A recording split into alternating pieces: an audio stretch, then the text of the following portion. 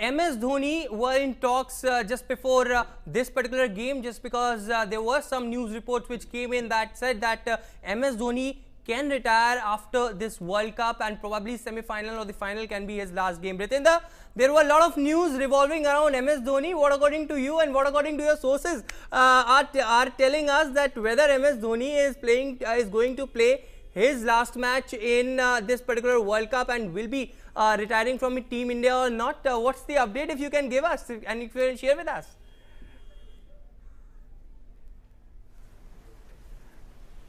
Uh, look, Aishwarya, this update can be given by only one man, and that is MS Dhoni himself. Uh, uh, he's undoubtedly a champion, a legend, and he has been under the banter if you talk about last few games. So, champion player always wants to end on a higher note. Uh, so, this game against Sri Lanka, semi-finals, finals, and if Dhoni can, uh, can be instrumental in winning us this World Cup, I'm sure he can think of the retirement. Uh, else, um, we might have to wait. And uh, waiting uh, also augurs well for Team India because in MS Dhoni, we have somebody who has the experience of the world. And with Virat Kohli and MS Dhoni playing in the same 11, I'm sure it will always be best beneficial for Team India.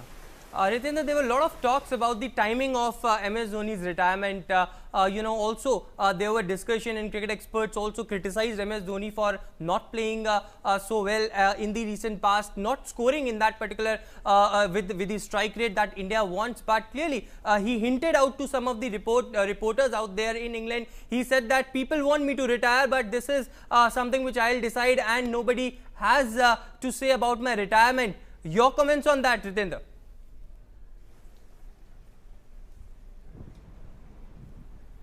Yeah, he has the point because nobody has the right to uh, even uh, convey or uh, suggest MS Dhoni uh, that when he should retire. I think he is a champion in his own self. Uh, we know what he has done for Team India. Won us the two important World Cups. Uh, has been a champion when we talk about IPL. A performer, one of the best finishers in the world. And even now, if you see his fitness, if you see his keeping, I agree he was not able to rotate the strike in the last few games. But it can happen with any player. You want to do well, you want to hit boundaries and sixes, but uh, you have an off day and it doesn't click. So from cricketer's point of view, I can just assure you that MS Dhoni is uh, still a champion and today's game will be very important. And Virat Kohli uh, must be now praying uh, that by semi-finals, by the day a semi-final arrives, Mahendra Singh Dhoni should have that important strike rate with him and today is the opportunity.